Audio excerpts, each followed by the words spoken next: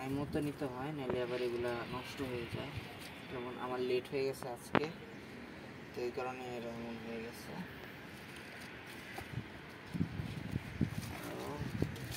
ওগুলো ফুটে নিই যেগুলো ফুটে আমরা ওগুলো নিই এখন কিছু পাতা কেটে দিই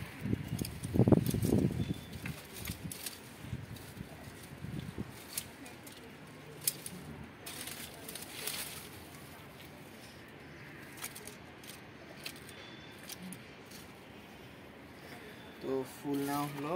আরও ফুল নাই, এখন অন্য কিছু নেব। আরও ওই। শুরু? আচ্ছা তো এগুলো আলু দিয়ে আমরা আলু খাই। ওই আলুর শাক। তো এগুলা কিছু কেটে ফেলব।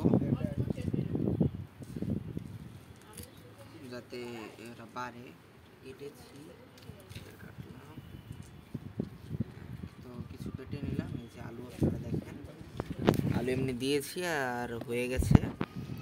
তো এই সিজনে ভালোই হয়। দেখা যাক এগুলো নিলাম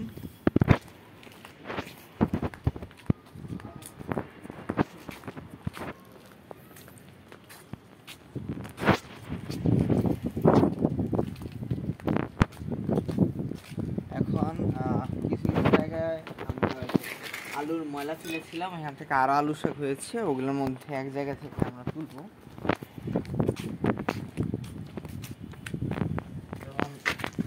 যে আপনারা দেখেন, এখানে হয়েছে, তো এটার মাটি একটু শক্ত আছে।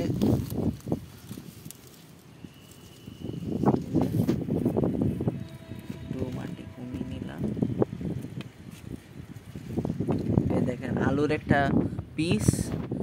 এখানে দিয়েছি আর ওইটা থেকে আপনার আলু শাক হয়ে গেছে। আলহামদুলিল্লাহ, এখন এটাকে নিয়ে আমরা আমাদের শাক যেখানে বানাচ্ছি, এখানে আমরা দিয়ে দিই। তো এইখানে যে লাল মাটি আছে সেটা না, নিচে আপনার সার দেওয়া মাটি আর উপরে একটু বালু আর লাল মাটি। আপনারা এই যে দেখেন, নিচে কালো মাটি দেখা যাচ্ছে। তো এখানে আমরা দিয়ে দিব। একটু বালু দিয়ে দিলে আলু শাকের জন্য ভালো হয়। আলু শাক এমন ভালো ভালো জায়গায়।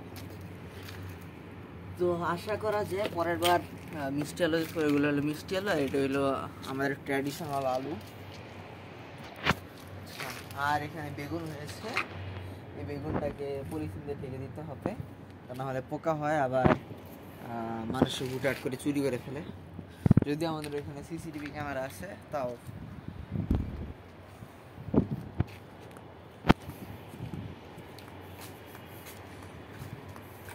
এখন আসেন দেখি আমাদের সফেদের কি খবর।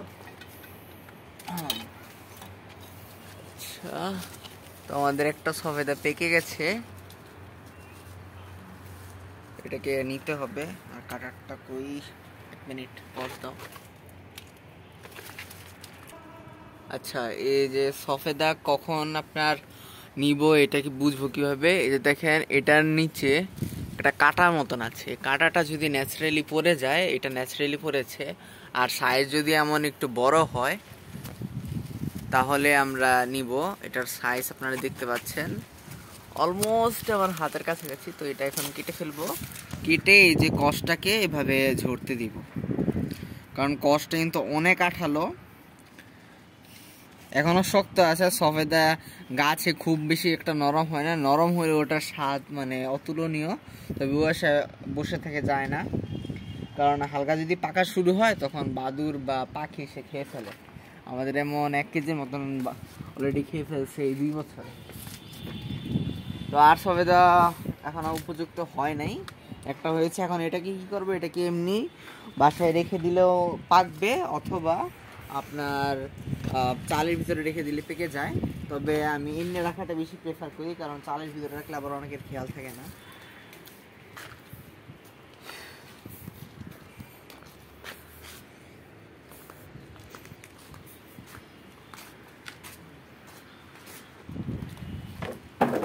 এখন কচ্ছপগুলোকে বাকি যতটুকু আমার ভিনেগার আছে ওইটা দিয়ে ব্রাশ করে দিই।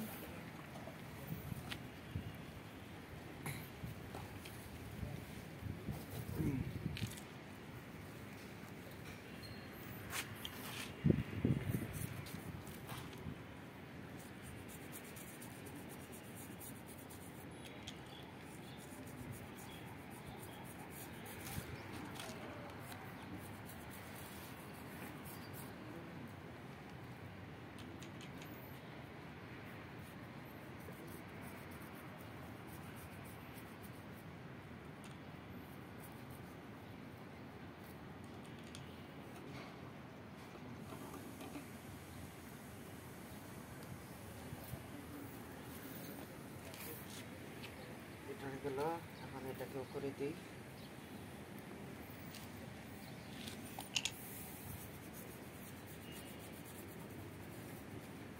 প্রচুর খাম চাচ্ছে রাখতেই পারতেছি না। তো এমন যতদিন ভালো না হয় ততদিন করতে হবে। আমি রেগুলার করতে পারি না, কারণ ঢাকার বাইরে ছিলাম আমি। কালকে আবার করব। আজকের জন্য শেষ। এখন এগুলোকে ভালো করে ধুয়ে রাখতে হবে।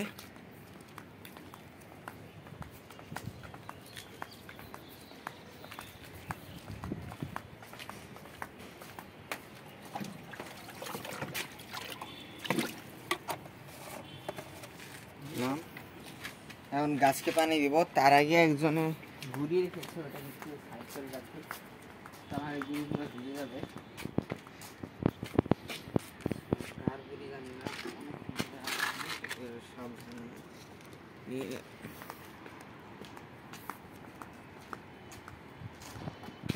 রেখে দিই। এখানে পৌঁছাবে না এই চাবি ছাড়া কেউ পানি আর দিতে পারবে না। কারণ ভাড়াটিয়ারা কল দুইবার ভেঙে ফেলে হবে আগে পানি ফেলে দিতে হয় কারণ গরম পানি আসছে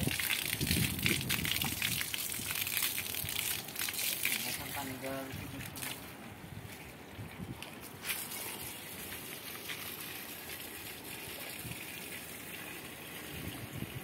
ঘাট পরিষ্কার করা হয় না ঘাট পরিষ্কার করতে হবে